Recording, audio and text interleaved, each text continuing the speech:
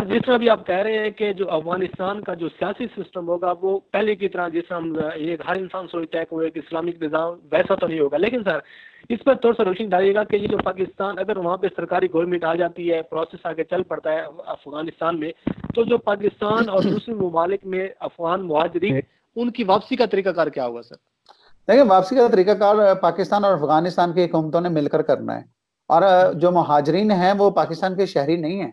पाकिस्तान की दरिया दिली है कि पाकिस्तान ने उन्हें पनाह भी दी। उन मामला में जब अफ़गानिस्तान में जंग चल रही थी यहाँ पे बहुत सारे लोग हैं। हम्म, हम्म। बाहर निकलता हूँ मेरा सामना होता है बहुत सारे ऐसे लोगों से जो यहाँ पे मजदूरियाँ कर रहे हैं वैसे रह रहे हैं और यहाँ के कुछ लोगों को शनाख्ती कार्ड दे दिए जिनको शनाख्ती कार्ड दे दिए उनका तो मामला नहीं है।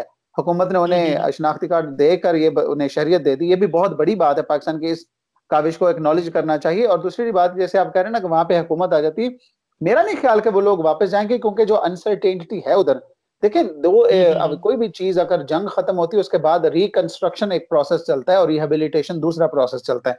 रिकंस्ट्रक्शन रात जो वहाँ पे तबाही फैली है उसको रिकंस्ट्रक्ट करना है। उसमें मेरे ख्याल में चाइना बहुत ज़्यादा आगे आया और रशिया भी आगे आकर इन्वेस्टमेंट करेगा जिसकी वजह से वहाँ पे दोबारा से इंफ्रास्ट्रक्चर बहाल हो इंडस्ट्रियलाइजेशन हो। Pakistan of course is a great stakeholder in Afghanistan peace process अब दूसरी बात रिहेबिलिटेशन वहाँ के लोगों की बहाली उनकी ज़िंदगी की बहाली उन्हें नौकरियाँ देना दोबारा से जो मामला चलाने वो अफ़गानिस्तान की हुकूमत करेगी लेकिन मेरे ख्याल में अब ये जो चीज़ अभी आप कह रहे हैं ना इसके लिए अभी शायद जो पाँच साल है वो भी बहुत अर्ली कहना होगा कि क्योंकि अगर बीस साल की जंग चली है तो उसमें जो अफ़गानिस्तान जैसा लैंड लॉक्ड कंट्री है जिसके साथ सिर्फ़ और सिर्फ़ दूसरे ममालिक क्योंकि ऐसा समंदर नहीं है जिसके थ्रू वो तजारत करता रहता होता उससे दूसरे ममालिक पे इसार करना पड़ा खासतौर पर पाकिस्तान के ऊपर डिपेंडेंट है ठीक है तो मेरे ख्याल। में इसे दस साल तक लगेंगे कि ये अगर अगर ये कंटिन्यू करे उसके बाद इनकी बहाली के लिए अगर दस साल बाद इकोनॉमी रिवाइव होगी तो मेरे ख्याल में जो पाकिस्तान में महाजरीन आए, वो जाना पसंद करेंगे, लेकिन ये खुद से नहीं जाएँगे। पाकिस्तानी हुकूमत को एक स्ट्रेटेजी बनानी पड़ेगी कि इन्हें वापस भेजें, क्योंकि वो पाकिस्तान के अपने मामला ऐसे हैं कि ये पाकिस्तान में रहते हो पाकिस्तान को बहुत बदनामी भी आती रही है। सम पॉइंट कहते रहे कि यहाँ से दरअंदाजी हुई है।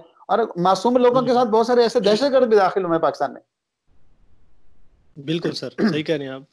अच्छा सर, एक चीज़ आप जैसे भी आपने पहले भी कहा कि पाकिस्तान बहुत बड़ा स्टेक होल्डर था इस सारे प्रोसेस में तो सर ये जो है, ये क्रेडिट आप किस को देते हैं? इमरान खान को देंगे, हमारे अफवाज पाकिस्तान को देंगे, या फिर सबका गवर्नमेंट को देंगे कि इस सारे प्रोसेस में किसने, आपकी नज़र में इसका हकदार कौन है? सारे प्रोसेस में सर। देखें, इसमें हकदार तो सारे हैं। इसमें पाकिस्तान की हुकूमत भी हकदार है। लेकिन बात ये चीज़ होती है कि किसी एक इदारे को मैं क्योंकि अगर अमेरिका ना चाहता तो माहा नहीं होना था ठीक है? अमेरिका और तालिबान ना चाहते वो रिस्टेंड ना करते तो माहिदा बेसिकली तो उनके पार्ट पे। हम्म, बाकी हम्म। काविशें जो की हैं पाकिस्तान से ज़्यादा तो सर, ये नहीं कि दोनों ने भी कर दी होंगी। अमेरिका सर अमेरिका अमेरिका और तालिबान को एक पेज पे लाने में सर सबसे ज़्यादा किरदार किसका था? पाकिस्तान था पाकिस्तान का था या किसी और कंट्री ने किया सर? नहीं नहीं देखें गुड ऑफ़िस जो थे वो कतर के थे। और जो इंसिस्टेंस थी वो पाकिस्तान की थी। पाकिस्तान की काविशों से एंगेजमेंट बिल्कुल रही है। पाकिस्तान की हुकूमत ने चाहा कि एंगेजमेंट रहे तालिबान की और अमेरिका की ताकि अमन आए अमन आने से पाकिस्तान का बहुत फ़ायदा होगा क्योंकि पाकिस्तान का वेस्टर्न बॉर्डर पाकिस्तान ने फेंसिंग शुरू की है जो फेंसिंग और पाकिस्तान ने सिक्योर करना शुरू किया उसमें पाकिस्तान को बहुत फ़ायदा होगा। अफ़गानिस्तान के अमन के साथ पाकिस्तान का अमन लिंक और पाकिस्तान की जो हुकूमत है जो मौजूदा हुकूमत है उसको भी क्रेडिट जाता है पिछली हुकूमत उसको भी क्रेडिट जाता है क्योंकि हमारी हुकूमतों ने सिर्फ़ यही सोचा कि अफ़गानिस्तान में अगर अमन आएगा तो हमारे यहाँ अमन आ जाएगा। लिहाजा इसमें मैं कहूँगा कि उसके अलावा जो चाइना भी हैं रशिया भी हैं लेकिन ज़्यादा कलीदी किरदार पाकिस्तान और कतर का है। क्योंकि कतर ने अपने गुड ऑफ़िस दिए कतर ने okay. चैनल बंद नहीं होने दिया। अगर चैनल बंद हो जाता टॉक्स का तो वहाँ पे इनकी मुलाकातें खत्म हो जाती ना मुलाकात कर सकते। तो ये कहाँ पे मुलाकातें कर सकते जिसकी वजह से एक जो टेम्परेचर था वो डाउन भी रहा कभी हाँ हुई कभी ना हुई कहीं पे एग्री किए कहीं पे डिसएग्री किए। तो मेरे ख्याल में ये क्रेड, जो क्रेडिट है वो शेड जाना चाहिए पाकिस्तान कतर और दीगर ममालिक को। सर लास्ट पे थोड़ा सा इस पे रोशनी डालिएगा कि अब ये जो सारा प्रोसेस हुआ है तो आपको लगता है कि आगे एक साल के दौरान आप एक सियासी अमल को देखते हैं अफ़गानिस्तान में कि वो शुरू हो जाएगा, उनका इलेक्शन का जो प्रोसेस है कि एक इलेक्शन हो जाए, फिर एक नई गवर्नमेंट है। और दूसरा जो साल, मेरा सवाल है, उसको भी आप थोड़ा इस पर लिंक कीजिएगा कि अब पाकिस्तान और अफ़गानिस्तान का जो मुस्तबिल है, वो आप उसको कैसे देखते हैं? देखिए पहला सवाल है कि सियासी अमल जो अफ़गानिस्तान में शुरू होगा। हम्म, हम्म। सियासी अमल बिल्कुल शुरू होगा लेकिन उस सियासी अमल में जो एक उसकी जो सूरत हाल होगी वो थोड़ी डिफरेंट होगी। तालिबान एक पॉलिटिकल पार्टी नहीं है। तालिबान एक ग्रुप है। तालिबान अभी एक पॉलिटिकल पार्टी बनेंगे। लेकिन तालिबान ने अभी इस चीज़ को नहीं समझा कि डेमोक्रेसीज में पॉलिटिकल पार्टीज़ कैसे बिहेव करती हैं। तालिबान दोबारा से हम्म, हुकूमत को बड़ा टफ टाइम देंगे। इस चीज़ का इस वजह से कि उनका एक पॉलिटिकल प्रोसेस का तजुर्बा नहीं है। उन्होंने हुकूमत बिल्कुल बनाई थी 1996 में लेकिन वो हुकूमत एक प्रोसेस से नहीं बनी थी। वो जंग के बाद जीतने पे काबुल पे कब्जा करके शुमाली इतिहाद को लताड़ के बनाई थी। अब जिस जिस बात की आप हम्म, बात करें कि अब वो पोलिटिकल एंटिटी बनकर आगे आ रहे हैं। उन्होंने हुकूमत के साथ डील करना है। उसके साथ वो हुकूमत का डील करते करते पहले अमरीका के साथ तो किया है लेकिन इस हुकूमत से डील करते उन्हें बहुत सारी ऐसी चीज़ें उन्हें पोलिटिकली ऑर्गेनाइज होना पड़ेगा। पॉलिटिकल प्रोसेस शुरू होगा। तालिबान मेरे ख्याल में इस वक्त जो टाइम चाह रहे हैं वो चाह रहे हैं कि वहाँ पे अपनी सपोर्ट बढ़ाएँ। जब उनके सपोर्ट बढ़ेगी तो मेरे ख्याल में सूबों के गवर्नर से लेकर अगला नेक्स्ट में भी जो प्रेसिडेंट वो सोच रहे होंगे क्योंकि वो इसको पपेट गवर्नमेंट कहते हैं। अगर लोगों की हमायत उनको हासिल रही तो मेरे ख्याल में कि वो हुकूमत में बहुत बड़ा अगर ना बना सके तो बहुत बड़ा हिस्सा ज़रूर डालेंगे। अब दूसरा अफ़गानिस्तान और पाकिस्तान के मामला अफ़गानिस्तान और पाकिस्तान के मामला इस तरह से हैं कि पाकिस्तान कि इस मामले के बाद दुनिया देख चुकी है कि पाकिस्तान ने अफ़गानिस्तान के लिए क्या कुछ नहीं किया। अब अफ़गानिस्तान के ऊपर एक एक फ़र्ज़ है, एक अखलाकी फ़र्ज़ है कि वो पाकिस्तान की इन काविशों को एक्नॉलेज करते हुए, मानते हुए, उनकी तारीफ़ करते हुए पाकिस्तान के साथ जो ताल्लुकात है गवर्नमेंट टू गवर्नमेंट रिलेशन उन्हें मुनासिब रखे।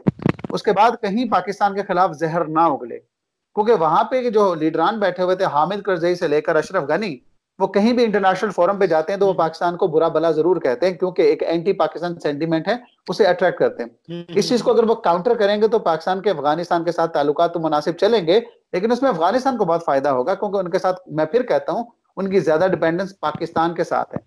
और रही बात इस चीज़ की आगे फ्यूचर में क्या होगा जब अमेरिका निकल जाएगा तो वहाँ पे इंडिया होगा। इंडिया अगर कोशिश जारी बात है इंडिया को न्यूट्रलाइज करना पाकिस्तान ने लाजमी करना चाहिए क्योंकि इंडिया का जो रोल है वो बड़ा डिस्ट्रक्टिव रोल रहा है। इंडिया के, आप देखें, अब ईरान में भी जाके चबाहार जो अगर उन्होंने उसमें इन्वेस्ट किया, बनाई है तो वो पाकिस्तान के गवादर के कंपटीशन में बनाई है। और अफ़गानिस्तान में अगर गए तो वो पाकिस्तान की वेस्टर्न बॉर्डर को अनसेफ करने के लिए गए। इसलिए कुलभूषण जैसे लोग यहाँ से पकड़े जाते हैं। कहने का मकसद यह है कि अगर इंडिया को पाकिस्तान न्यूट्रलाइज कर देगा, वहाँ की हुकूमत मिलकर काम करेंगे तो इंडिया की वैसे छुट्टी हो जाएगी अमेरिका वहाँ से निकलेगा।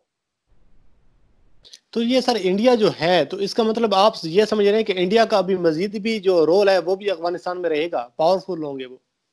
नहीं पावरफुल नहीं होंगे। इंडिया अफ़गानिस्तान में ज़रूर रहेगा। इंडिया इंडियन कॉन्सुलेट रहेगा। इंडियन इन्वेस्टमेंट रहेगी जो उन्होंने हॉस्पिटल्स बनाए जो उन्होंने दीगर कंस्ट्रक्शन की वहाँ पे रोड्स बनाए दीगर स्टेडियम बनाए या दीगर जगहों पे तो सर वो किसी न किसी शक्ल में तो वो किसी न किसी शक्ल में नुकसान पहुँचाने की तो कोशिश करेगा सर?